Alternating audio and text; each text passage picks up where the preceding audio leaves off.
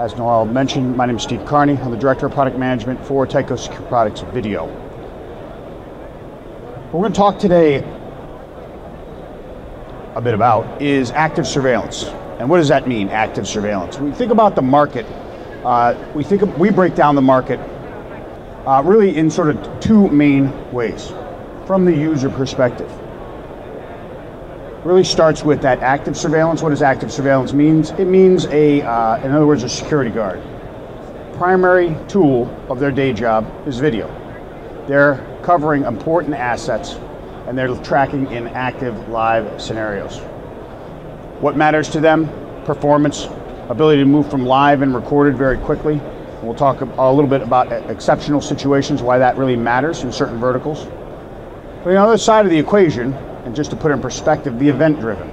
Event driven customer, if you're an integrator, is probably about 70% of your work. Somebody whose day job is not to use video, they're an office manager, a small business owner, clerk. They have to get in and out of the video very quickly, get on with their day job. So for them, it's not necessarily about performance, it's about ease of use. So, we, so it's not a one size fits all market.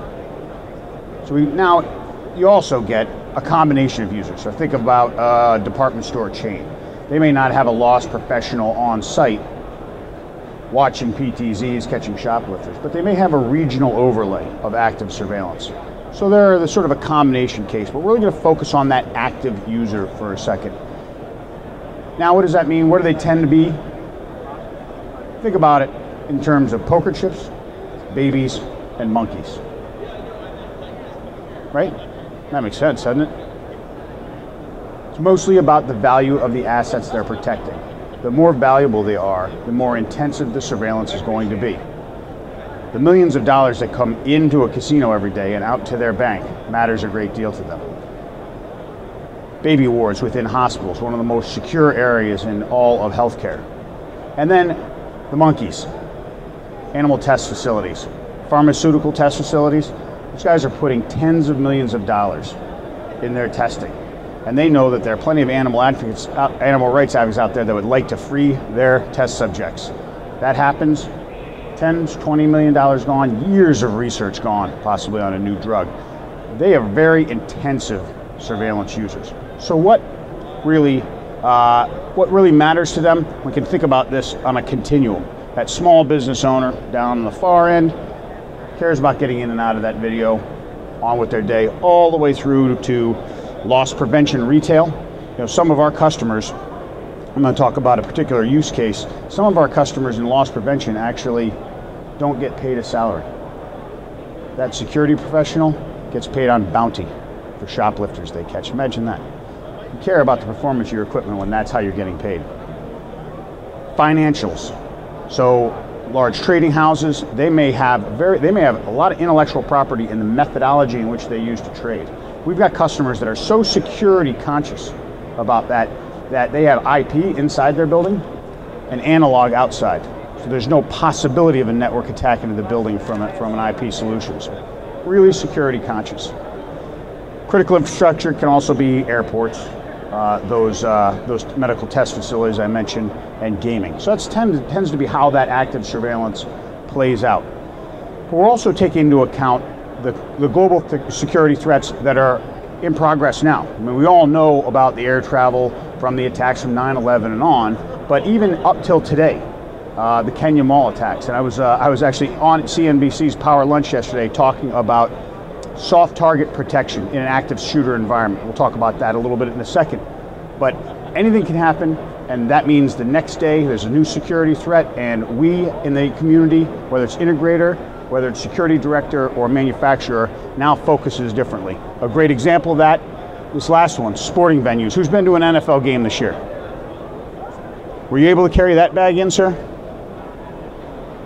No, I took an ID and that was it. ID and cash. Clear bags only. Ladies can't even take in pocketbooks. They have these clear bags. You can see their makeup and everything else you got there. That's, that's the NFL. Why? Boston. Right?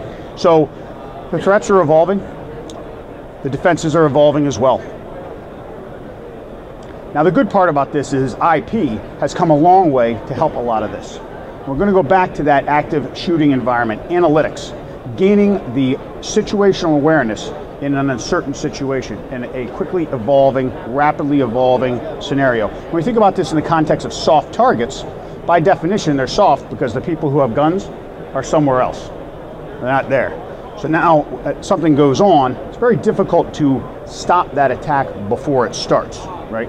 You're, if you do, if you can, it's within seconds.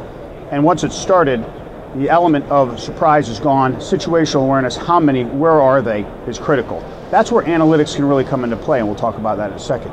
Now we can mobile and remote view what's going on.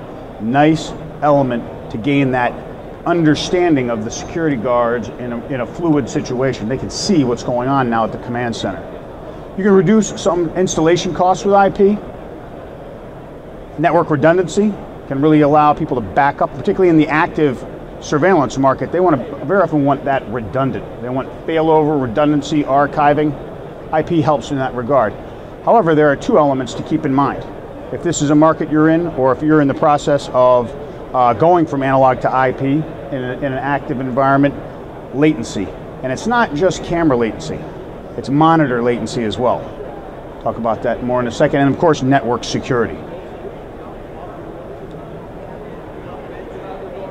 The latency issue, I think we all know that PTZ has some latency concerns in the IP area. And one of the things we've done here at American Dynamics, based on our years of leading PTZ work with the speed domes, is release the Illustra 625 HD PTZ. And what we focused on with that is getting that latency as low as possible. And why does that matter?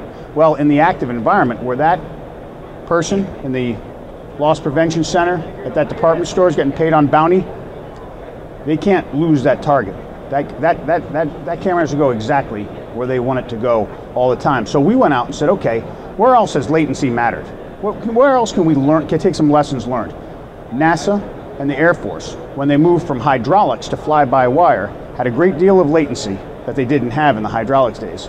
So they went through a number of different tests to find out exactly how low you could get latency before it essentially virtually disappeared from the human eye.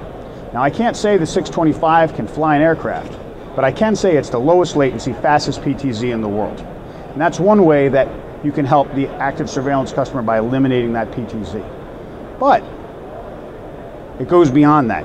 And in that control room of that retailer, I learned something that day, and I learned that when they are going from the analog CRT to an IP LED or LCD screen, there's latency. There's no latency in that CRT. They looked at me and said, I can't do my job. It takes me three seconds to switch a camera on this new, uh, this, this new monitor. I can't do my job. I said, well, I'm sorry, but they don't make these anymore. So we're gonna have to find a middle ground. So when you're thinking about that active surveillance environment, and particularly moving from analog to IP, the, the, the quality of the monitors matters. You would never have thought that. But switching, the difference between switching three seconds and, and switching back and forth cameras and a second and a half is the difference between them being able to do their job and not being able to do their job. Just something to keep in mind. That situational awareness, critical in those soft target, fast moving situations. How can a VMS help? And one of the things we do in our Victor client is we unify a number of different elements of our security solution. Intrusion, access control, and video. So what can happen?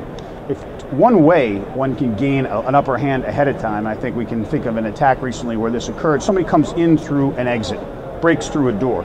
Well, if you've got some level of access control, you know now know you have a, a, a forced door.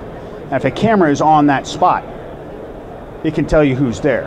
And if you think you're going to get too many false positives, you can lay down a little tripwire now with an analytic and make it go one way when you have an exit in a movie theater, everybody should be heading that way. If you have one person heading this way, you've got a problem. If you see that and they got a big black bag and they look like the Joker, you may have a couple of extra seconds that you wouldn't have otherwise. Now, that's probably not going to be the case most of the time. Most of the time it is a mall, it is an open area, and the attack has started. What's going to happen? What's, what's, the, what's the optimal security scenario in that active situation? And it's really about the ability and what we call that within the integrated side, but also the time synced investigation tools. So you're in the security center, you get a call. We have a shooting. Okay. It started on the first floor. You're probably not getting all the details. You go to those cameras, you can see a shooting occurred, but the shooter is not there. They've moved on. Now, you're calling the authorities. What do you think the difference in the reaction is going to be between the authorities getting there and not knowing how many people, where they are, and what they're doing at the time they get there versus I know I have three people, they both are on the second floor and they're moving north in the building. That's a fundamentally different thing, isn't it? So, time syncing that video when you know where it started but they're not there anymore. And I encourage you to go back and maybe get a demo of Victor's investigator mode. We can bring up all of the all of the cameras in the area and then start moving them forward and backward all time synced until you catch what you're looking for. Now it may have happened two minutes ago, but now you can start moving it forward and folding in all the other cameras around and put the timeline together very, very quickly, gaining situational awareness when seconds matter. It's another, th- another thing to keep in mind in, in, uh, in covering sort of soft targets uh, uh in active surveillance. Video push, as I mentioned in the IP arena. You've got security guards out there, they may have been issued smartphone, smartphones. You can take that video, now that you know what's going on, to security guard on, on the third floor, push it and say, this is what's going on in the second floor. As opposed to saying, yeah, they're in front of Macy's, uh, yeah, they're, they're armed, uh, they're, moving, uh, they're moving north. Right? That person having the live video is far more powerful than being told something, having him run down the hall, and the situation is different by the time he gets there.